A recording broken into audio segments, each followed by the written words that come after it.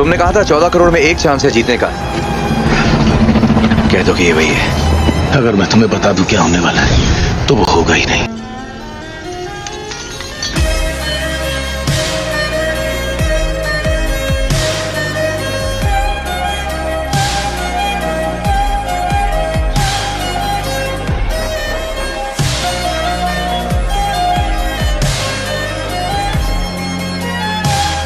I am Iron Man.